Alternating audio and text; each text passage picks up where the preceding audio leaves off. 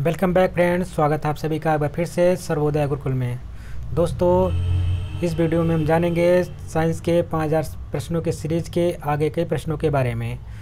दोस्तों, अगर इस चैनल पे आप नए हैं तो चैनल को सब्सक्राइब कर लीजिए, साथ ही बेल आइकन को प्रेस करना ना भूलें, जिससे आने वाली वीडियो की नोटिफिकेशन आप सभी को मिल सके। बढ़ते हैं पहले क्वेश्चन की तरफ़। पहला क्वेश्चन क्या कहता है, सबसे हल्की धातु कौन सी है? सबसे हल्की धातु जो होती है हमारी, वो है लिथियम। और इसका अगर हम आवर साड़ी में देखते हैं मॉडर्न पीरियोडिक टेबल में देखते हैं तो इसका स्थान है नंबर थ्री यानी परमाणु क्रमांक कितना है? तीन है और इसको हम बोलते हैं एल से रिप्रेजेंट करते हैं। फ्रेंड आवर साड़ी की बात कर लेते हैं। आवर साड़ी में क्या क्या है कि सात आवर्त हैं इसमें, पहली बात तो सात आवर्त हैं। और अट्ठारह समूह हैं। कितने हैं? अट्ठारह समूह। जो अट्ठारहवें समूह में है, उसमें हमें अक्रिय गैसों को रखा गया है। तो उसमें अक्रिय गैसें कौन कौन सी होती हैं? हीलियम है, आर्गन है, क्रिप्टॉन है, जिनान है और रेडॉन है। सब गैसें किसके अंतर्गत आती हैं? अट्ठारहवें समूह के अंतर्गत आती हैं। इनको हम बोलते हैं अक्रिय गैसें। फ्रेंड, हम बात करते हैं तो आवर आवर समूह में यानी ब्रह्मांड में सबसे अधिक मात्रा में पाए जाने वाला तत्व तो कौन सा है? तो हाइड्रोजन है, जिसका परमाणु क्रमांक एक होता है और परमाणु भार भी एक होता है। जो सबसे हल्की गैस भी है, कौन है? तो हाइड्रोजन है।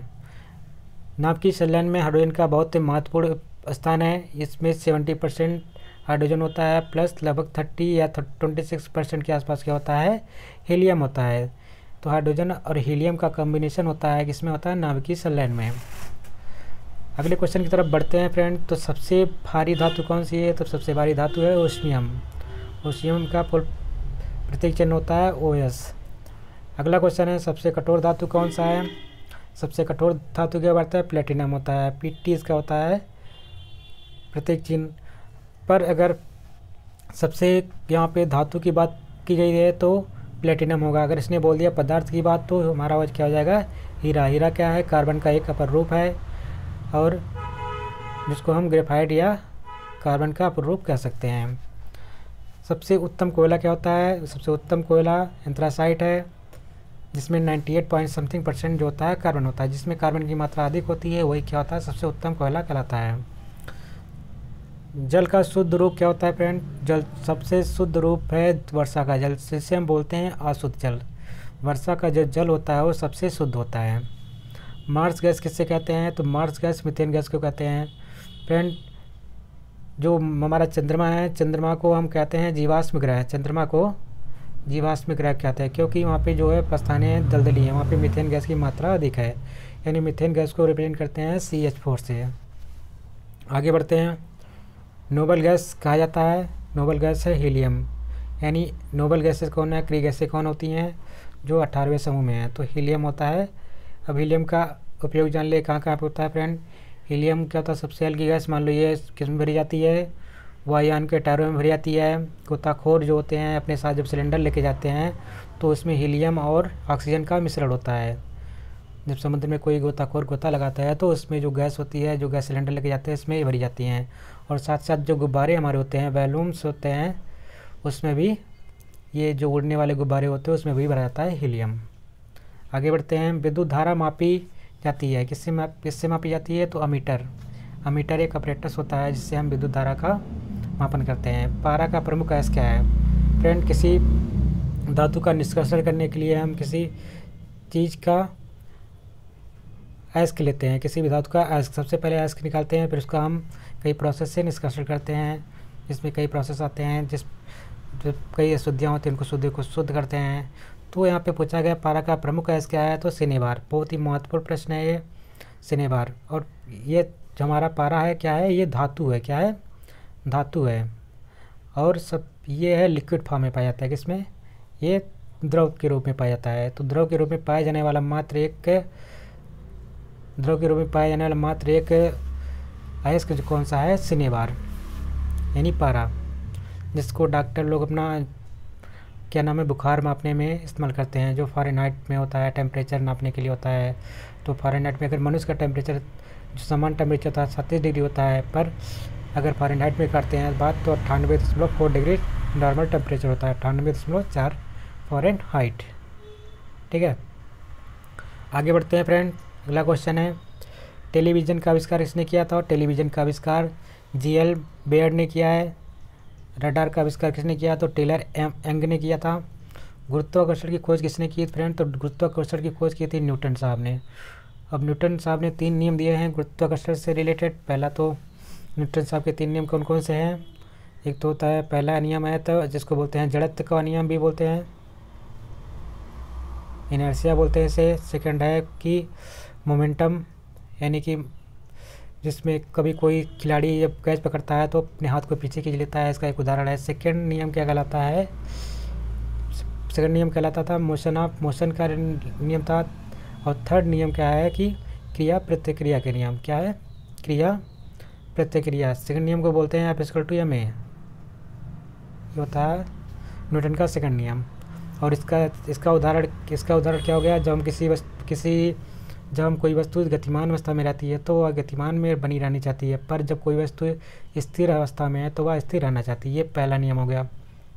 सेकंड नियम होता है F equal to M A third नियम होता है क्रिया प्रतिक्रिया का। क्रिया प्रतिक्रिया में क्या होता है फ्रेंड इसमें इसका उदाहरण है, जैसे रॉकेट। रॉकेट जब उड़ता है तो अपनी तरफ़ पीछे की तरफ़ वो गैसें छोड़ता है, जिससे धुआँ, वो क्या होता है, आगे की तरफ़ बढ़ता है। इसे बोलते हैं क्रिया प्रतिक्रिया का नियम। फ्रेंड, अगला क्वेश्चन है, क्वेश्चन नंबर फोर। सिरका व आचार में कौन सा अम्ल होता है? तो सिरका और आचार में एसिटिक अम्ल होता है। नींबू एवं नारंगी में कौन सा अम्ल होता है? तो साइट्रिक अम्ल होता है। नींबू में सबसे ज़्यादा पाया जाने वाला कौन सा विटामिन है? Vitamin C. विटामिन सी की कमी से होने वाला रोग कौन सा होता है, फ्रेंड?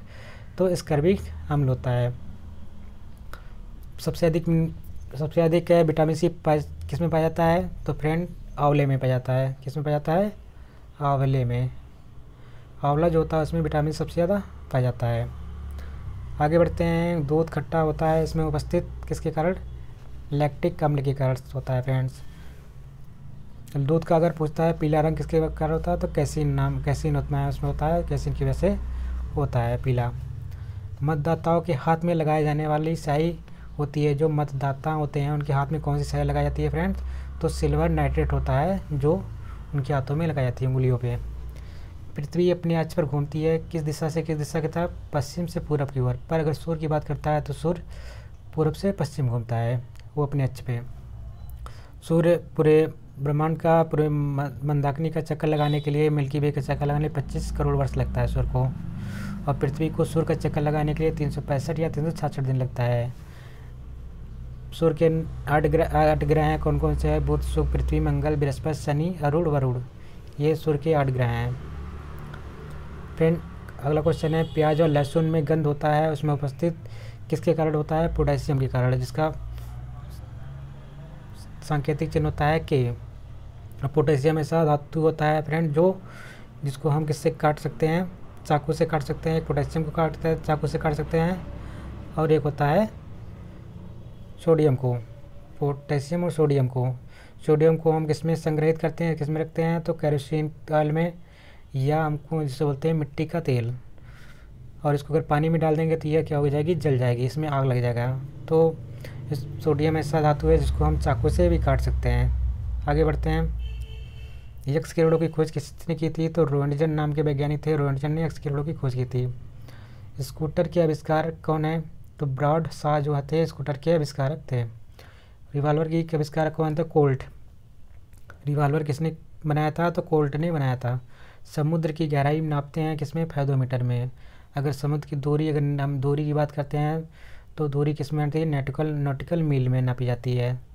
डीएनए हम डीएनए संरचना का मॉडल किसने दिया था फ्रेंड? तो वाटसन एम किक ने दिया था। प्रयोगशाला में पहला तत्व तो कौन सा है? बनाया गया था तो यूरिया। प्रयोगशाला में बॉलर ने बनाया था सबसे पहले यूरिया। क्या होता है formula N H two C O N H two N H two C O N H two ये यूरिया का फार्मूला है। N H two C N H two यानी कि सबसे पहले यूरिया का संश्लेषण किया गया था प्रयोगशाला में, जो कि कार्बनिक तत्व था, कार्बनिक पदार्थ था। टेलीफोन के आविष्कारक ग्रामबेल भारत द्वारा छोड़ा गया पहला उपग्रह कौन सा है फ्रेंड? तो भारत द्वारा छोड़ा गया पहला उपग्रह का नाम है आर्यभट्ट पेंसिलिन की खोज किसने की? तो पेंसिलिन की खोज अलेक्जेंडर फ्लेमिंग ने की थी। अलेक्जेंडर फ्लेमिंग ने पेंसिलिन की खोज की थी। बहुत ही इंपॉर्टेंट क्वेश्चन है। चेचक की चेचक के टीके की खोज किसने की थी? जे एडवर्ड जेनर ने चेचक के टीके की खोज की थी। जीव विज्ञान के जनक किसे जात माना जाता है? तो जीव विज्ञान या जंतु विज्ञान की बात करता है। दोनों के जनक कौन है? अरस्तु जी हैं। आगे बढ़ते हैं। क्वेश्चन नंबर इक्कीस, डायनामाइट के आविष्कारक कौन है? तो फ्रेंड्स, डायनामाइट के आविष्कारक है अल्फ्रेड नोबेल। तो अल्फ्रेड नोबेल के बारे में कुछ जानकारियाँ ले लेते हैं। अल्फ्रेड नोबेल ने डायनामाइट नहीं बनाना चाह रहे थे। ये मतलब कि मानव समाज के लिए कुछ अच्छा काम करना चाहते थे, पर इनसे किसी न किसी तरीके से क्या बन गया डायनामाइट, जो कि बहुत ही विस्फोटक पदार्थ होता है। तो इन्होंने अपनी गलती सुधारने के लिए एक नोबल प्राइज़ नाम का अपने नाम से एक नोबल प्राइज़ का नोबल प्राइज़ देने का आग्रह किया। मतलब कि कहा कि अगर कोई अच्छा अपने क्षेत्र में, शांति के क्षेत्र में कोई अच्छा काम करेगा, किसी भी क्षेत्र में तो उसको नोबल प्राइज़ से दिया जाएगा। तो आज आज के समय नोबल प्राइज़ छः क्षेत्रों में दिया जाता है। कौन उनको क्षेत्र हैं फ्रेंड्स तो चिकित्सा के क्षेत्र में दिया जाता है पहला तो। रसायन विज्ञान में दिया जाता है क्योंकि रसायन वैज्ञानिक थे, इसलिए उन्होंने ये डायनामेंट बनाया था तो भौतिक के क्षेत्र में, भौतिक विज्ञान के क्षेत्र में दिया जाता है। साथ ही साथ अर्थशास्त्र में दिया जाता है। और किसमें जाता है? साहित्य के क्षेत्र में दिया जाता है। चिकित्सा, रसायन विज्ञान, भौतिक विज्ञान, अर्थशास्त्र और साहित्य के क्षेत्र में। साथ, एक और कौन सा है?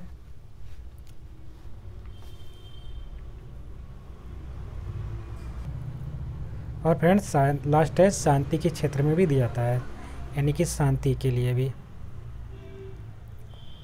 ये छह क्षेत्रों में दिया जाता है। कौन कौन से? शांति, चिकित्सा, रसायन विज्ञान, भौतिक विज्ञान, अर्थशास्त्र और क्या नाम है कि साहित्य के क्षेत्र में। ये छह क्षेत्रों में दिया जाता है। आगे बढ़ते हैं। इन्होंने 1900 में ये खोज की थी। 1900 में नोबेल प्राइज़ का शुरुआत हो गया था। चंद्रमा पर उतरने वाला पहला व्यक्ति कौन है फ्रेंड्स? तो चंद्रमा पर उतरने वाला पहला व्यक्ति नील आर्मस्ट्रांग है। अंतरिक्ष में जाने वाले पहले व्यक्ति कौन थे? तो यूरिन गार्गिन। और अगर भारत की बात करते हैं तो भारत से राकेश शर्मा। सबसे पहले, बड़ी हड्डी की बात करते हैं तो सबसे बड़ी हड्डी हमारे जांग की हड्डी होती है, इसको हम बोलते हैं फीमर। सबसे छोटी स्टेपेज होती है, जो हमारे कान में होती है। सबसे मज़बूत हड्डी की बात करती है तो जबड़े की हड्डी होती है। किसमें होती है? जबड़े की हड्डी सबसे मज़बूत हड्डी है। सबसे कठोर तत्व शरीर का सबसे सबसे कठोर तत्व कौन सा है, फ्रेंड? तो इनेमल है। इनेमल कहाँ पाया जाता है? इनेमल पाया जाता है हमारे दांतों में, जो हमारा चमकता हुआ, जो दाग दिखता है तो दांतों के ऊपर वाली जो परत होती है, वही परत क्या कहलाती है? इनेमल ये हमारे शरीर के सबसे कठोर भाग होता है। हमारे शरीर में दो सौ छः हड्डियाँ पाई जाती हैं। आगे बढ़ते हैं। संसार का सबसे बड़ा पुष्प कौन सा है? तो संसार का सबसे बड़ा पुष्प है रेफ्लेसिया। रेफ्लेसिया है संसार का सबसे बड़ा पुष्प। है किस विटामिन में कोबाल्ट होता है तो विटामिन बी ट्वेल्व इसका रासायनिक नाम होता है, बी ट्वेल्व का साइनोक्लोबामिन। साइनोक्लोबामिन इसका रासायनिक नेम है। इनीमिया किस विटामिन के से ठीक हो जाता है? इनीमिया का मतलब क्या होता है फ्रेंड इनीमिया का मतलब होता है कि रक्त की कमी होना, यानी रक्त अल्पता होना, क्या कहलाता है? इनीमिया तो विटामिन टी ट्वेल्व की कमी विटामिन ट्वेल्व से ये ठीक हो जाता है। रतौंदी किस विटामिन की कमी से होता है, फ्रेंड्स? अगर रतौंदी की बात करता है तो रतौंदी विटामिन ए की कमी से होता है। और सबसे अधिक अगर विटामिन ए किसमें पाया जाता है तो गाजर में पाया जाता है। विटामिन ए का रासायनिक नाम क्या है? तो फिर फ्रेंड, रेटिनॉल इसका है रासायनिक नाम। रेटिनॉल इसका रासायनिक नाम है। आगे बढ़ते हैं। विटामिन बी की कमी से होने वाला रोग कौन सा है फ्रेंड? विटामिन सबसे पहले विटामिन बी का रासायनिक नाम क्या होता था? थायमीन होता है। थायमीन इसका है रासायनिक नाम। विटामिन बी कमी से होने वाला रोग है, बेरी बेरी। और विटामिन बी सबसे अधिक कहाँ पे आता है? तो हरी सब्जियों में पाया जाता है। अगर विटामिन बी और किसमें सबसे अधिक पाया जाता है? तो हम चावल का जो पॉलिश होता है, उसके अंदर भी विटामिन बी पाया जाता है। अगर चावल की पॉलिश को अगर हम निकलवा देते हैं तो हमें बेरी बेरी नम का रोग भी हो जाता है। इसलिए चावल को पॉलिश ना कराया करिए आप लोग। आगे बढ़ते हैं, इकतीस। टाइफाइड से शरीर का कौन सा अंग प्रभावित होता है? फ्रेंड, जो टाइफाइड होता है तो हमारे किस भाग को प्रभावित करता है? आँत को। यानी पेनक्रियाज यानी कि हमारा जो आँत होता है, छोटी आंत, बड़ी आंत होती है तो उसको हमारा डिफेक्ट करता है, उसको ही इफ़ेक्ट करता है। आगे बढ़ते हैं। रेबीज़ के टीके खोज किसने की थी? तो लुइस पास्चर ने की थी। तो जो अगर कोई कुत्ता काट देता है तो उसको उसके की खोज करने वाले वैज्ञानिक कौन थे? उसके काटने से ये रेबीज नामक की बीमारी हो जाती है हमारे शरीर में। इसको हम बोलते हैं फोबिया। हमको डर लगने लगता है, ऊंचाई से डरने लगता है, जिसको और क्या नाम है आग से डरने लगने लगता है, पानी से डरने लगने लगता है, इसको बोलते हैं फोबिया हो जाना। तो रेबीज़ के ये वायरस होता है, इसकी खोज किसने की थी? तो लुइस पास्टर ने की थी। हैजा व टीबी के जीवाणुओं की खोज किसने की थी फ्रेंड? तो रॉबर्ट कोच ने उन्नीस सौ बयासी ईस्वी में की थी। रक्त में पाए जाने वाला लव तत्व है अगर रक्त की बात करता है फ्रेंड तो रक्त में हीमोग्लोबिन पाया जाता है, क्या पाता है? हीमोग्लोबिन हीमो प्लस ग्लोबिन दो शब्दों से बना होता है। ग्लोबिन क्या होता है? एक प्रकार का प्रोटीन है। और हीमो क्या है? लवयुक्त पदार्थ है। तो लव रक्त में पाया जाना रक्त में क्या हो जाता है? लवयुक्त तत्व है। जो कि हीमोग्लोबिन का कार्य क्या करता है? यह हमारे अंदर, हमारे बॉडी के अंदर ऑक्सीजन को रक्त के थ्रू ऑक्सीजन का समायन करता है, एक स्थान से दूसरे स्थान तक ले जाने का काम करता है। बात करते हैं हमारे धड़कन में, हमारे हृदय में सिराओं से रक्त हमारी बॉडी से, हमारी बॉडी से जो रक्त होता है सिराओं के थ्रू धड़कन तक जाता है, यानी दिल तक जाता है हार्ट तक जाता है। और हार्ट से जो होता है हार्ट के हार्ट से जो निकलती है, धमनी निकलती है, धमनी से हमारे बॉडी में निकल, ये पूरा रक्त का संचरण होता रहता है। मनुष्य एक स्वस्थ मनुष्य के बॉडी में लगभग पाँच से साढ़े पाँच लीटर या साढ़े पाँच से छः लीटर के आसपास ब्लड होना चाहिए। और फीमेल में बात करते हैं तो चार से साढ़े चार लीटर के आसपास होना चाहिए। आगे बात करते हैं एक्स किरणें हैं, कैसी होती हैं? किरणें विद्युत चुंबकी होती हैं। एक्स किरणें की कोई बताया दिया गया, कौन किए थे? रोहिणी चंद साहब ने किए थे। पानी में हवा का बुल्ला होता है, किस किस की बात व्यवहार करता है? तो अवतल लेंस हम जानते हैं अवतल लेंस किसे कहते हैं? ये हमारा जो होता है, जो किनारे के बाद चौड़ा होता है और बीच का भाग दबा हुआ होता है उसको बोलते हैं अवतल लेंस या हम बोलते हैं जो, इसको बोलते हैं कॉन केव कॉन केव यानी कि केव मतलब क्या होता है फ्रेंड केव मतलब गुफा होता है। तो आगे जो भाग होता है, गुफा की तरह होता है, उसको बोलते हैं कॉनवेग कॉनकेव और कॉन्वेक्स होता है उत्तर लेंस जिसका उत्तल, जिसका तल तो भरा हुआ होता है, उसको बोलते हैं उत्तर लेंस अगला क्वेश्चन है, विश्वत रेखा पर किसी वस्तु का भार कितना होता है तो विश्वत रेखा की बात करता है। अगर हम ग्लोब की बात करते हैं, ये हमारा ग्लोब है तो ये हमारा अगर ये बांटता है पृथ्वी के दो भागों में, इसको बोलते हैं विश्वत रेखा। यानी कि इक्विलेटरल इक्विलेटरल लाइन तो यहाँ पे पूछ रहा है कि किसी भी वस्तु का भार कितना होगा, कम होगा या ज़्यादा होगा। जो हम ध्रुव, यहाँ पे ध्रुव होता है, उत्तरी ध्रुव है, ये दक्षिणी ध्रुव है। जब हम ध्रुव से विश्वत रेखा की तरफ़ जाते हैं तो किस वस्तु का भार कम होता है? क्योंकि वहाँ पे ग्रेविटी के मान जी नाइन पॉइंट एट से कम होते हुए कम होता जाता है। जब वस्तु का ग्रेविटेशनल मान जो होता कम होगा तो वस्तु का भार भी कम होगा। यानी कि हम कह सकते हैं विश्वत रेखा पर किसी वस्तु का भार क्या होता है? न्यूनतम होता है। आगे बढ़ते हैं। सूर्य से पहले सूर्य, सूर्योदय से पहले सूर्य दिखाई दिखने का कारण क्या है? प्रकाश का अपवर्तन। फिर आंसर क्या है? प्रकाश का अपवर्तन। अब समझते हैं, अपवर्तन क्या होता है? मान लीजिए दो माध्यम है। एक है वायु में नीचे में, मान लो कांच है। ठीक है? अब कोई रेखा, कोई आपतित किरण क्या हुआ कि अपने मार्ग से चलना स्टार्ट की? तो अगर वायु से वो क्या कांच में प्रवेश कर रही है तो अपने हाथ से, अपने स्थान से विचलित हो जाती है। कोई, जब कोई आपतित किरण एक माध्यम से दूसरे माध्यम में प्रवेश करती है तो अपने स्थान से विचलित हो जाती है। या तो वह इसको बोलते हैं बीच लाइन, जो लाइन है ये सीधी, इसको बोलेंगे अविलंब, या तो वह अविलंब की तरफ़ झुकेगी या अविलंब से दूर भागेगी। तो इसे कहते हैं प्रकाश का अपवर्तन। सीधे कहने का मतलब था, जब कोई रेखा एक माध्यम से दूसरे माध्यम में प्रवेश करती है तो अपने स्थान से विचलित हो जाती है। इस क्रिया को क्या कहते हैं? प्रकाश का अपवर्तन कहते हैं। जब कोई चीज़ें, अब कैसे जानेंगे कौन सी चीज़ें प्रकाश के अपवर्तन के कारण हो रही है? जब चीज़ें हमको झूठी लगे कोई चीज़ तो हम उसे बोलेंगे प्रकाश का अपवर्तन। यानी जो भी छोटी चीज़ें हैं, झूठी चीज़ें हैं, उसको हम क्या कह सकते हैं? ये यहाँ पे प्रकाश का अपवर्तन हो रहा है। जैसे कि एग्ज़ाम्पल लेते हैं, किसी पानी में हम क्या करते हैं? छड़ी डुबा डुबा देते हैं। तो छड़ी जब डालते हैं तो क्या होगा? थोड़ा बहुत टेढ़ी लगती है छड़ी। अब टेढ़ी लगने का कारण क्या होता है? लेकिन वास्तव में टेढ़ी नहीं होती है। वास्तव में वो सही है, सीधी हैं। पर ये हमको लग रही झूठी चीज़। मतलब कि हमारी जो छड़ है, छड़ी है, वो टेढ़ी लग रही है। तो इसका कारण क्या हुआ? अपवर्तन होता है। हम पानी में कोई गिलास में क्या कर दिया? सिक्का डाल दिया। तो जब सिक्का डालते हैं, पानी भरा रहता है तो हमको लगता है जो सिक्का है, वो ऊपर थोड़ा है। लेकिन वास्तव में वो ऊपर नहीं होता। वो ऊपर नहीं होता, वो नीचे अपने तली में ही रहता है। तो पर हमको ये चीज़ लग रही है झूठी। तो इसमें भी प्रकाश का अपवर्तन हो रहा है। एक मरीचिका होती है मरीचिका जो होती है, जो कि डेजर्ट एरिया में पाई जाती है फ्रेंड यानी कि जहाँ पे रेगिस्तान होता है, रेगिस्तान में जब हम जाते हैं तो वहाँ पे देखते हैं कि लगता है कि हमें पानी पानी है वहाँ पे है। लेकिन हम जब उसके पास पहुँचते हैं तो वहाँ पे पानी नहीं रहता, उसको हम मरीचिका बोलते हैं। तो इस मरीचिका का होना भी एक तरीके से, क्योंकि हमें वास्तव में पानी था ही नहीं वहाँ पे, पर ये झूठी चीज़ लग रही है। तो झूठी चीज़, जो भी झूठी चीज़ें होंगी, उसको बोलते हैं प्रकाश का अपवर्तन बोलेंगे। अब देख लीजिए यहाँ पे एक और है। इंद्रधनुष बनने का कारण है, पर इंद्रधनुष तो बनता नहीं है। बस हमको लगता है, अगर हम देखना चाहें तो वहाँ पे इंद्रधनुष तो होता नहीं है। तो उसका भी कारण क्या है? प्रकाश का अपवर्तन। अगला क्वेश्चन है फ्रेंड्स क्वेश्चन नंबर फोर्टी ताप बढ़ने पर ध्वनि की चाल पर क्या प्रभाव पड़ता है? अगर ताप किसी चीज़ का हम टेम्परेचर बढ़ा देते हैं, किसी पदार्थ का टेम्परेचर बढ़ाते हैं तो वहाँ पे ध्वनि का चाल पे क्या प्रभाव पड़ेगा ध्वनि बढ़ेगी, घटेगी, कैसा होगा, कैसे नहीं होगा? आइए समझते हैं। सबसे पहले हमें ध्वनि को चलने के लिए किसी न किसी मीडियम की आवश्यकता होती है। जब कोई ध्वनि प्रोपोगेट करती है, आगे बढ़ती है तो किसी न किसी मीडियम की आवश्यकता है, क्योंकि ध्वनि जो होती है हमारी एक कड़ से दूसरे कड़ पर टकरा करके आगे बढ़ती जाती है।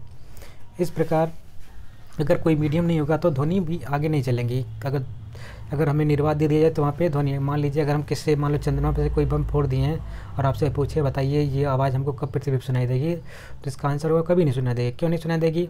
क्योंकि चंद्रमा और पृथ्वी के बीच में निर्वात मिलता है। निर्वात में जब कोई वस्तु जाती है निर्वात में तो निर्वात में तो कोई वायुमंडल तो है नहीं। क्योंकि हमने बताया, ध्वनि को चलने के लिए किसी न किसी मीडियम की आवश्यकता पड़ती है। तो मीडियम जब रहेगा तभी है ध्वनि आगे बढ़ेगी। तो वहाँ पे निर्वात में कोई मीडियम है नहीं तो ध्वनि आगे बढ़ेगी ही नहीं। तो इसी प्रकार हम किसी चीज़ का अगर हम टेम्परेचर बढ़ाते हैं तो उसके जो अंदर जो होते हैं कड़ होते हैं, जो वो क्या कहते हैं, जब टेम्परेचर बढ़ाते हैं तो कड़ एकदम बहुत तेज़ से आगे पीछे भागने स्टार्ट करते हैं। और जो हम ध्वनि उसमें बोलते हैं तो कड़ों क्योंकि कड़ों की थ्रू ध्वनि हमारी जो होती है आगे बढ़ती है। कड़ों के द्वारा ही ध्वनियाँ हमारी आगे बढ़ती हैं। तो अगर कड़ तेज़ी से ऑटोमेटिक पहले से भाग रहे हैं तो और हम बोल रहे हैं तो ध्वनियाँ और भी तेज़ भागेंगी। तो कहीं ना कहीं हमको देखने को मिल रहा है, अगर हम टेम्परेचर बढ़ा रहे हैं तो ध्वनि भी, ध्वनि का भी जो चाल है, वो बढ़ रहा है। तो आई थिंक मुझे लगता है आपको सही तरीके से समझ में आई। ध्वनि को चलने के लिए मीडियम की आवश्यकता होती है, पर प्रकाश को चलने के लिए कोई मीडियम की आवश्यकता नहीं होती, ये भी ध्यान रखिएगा।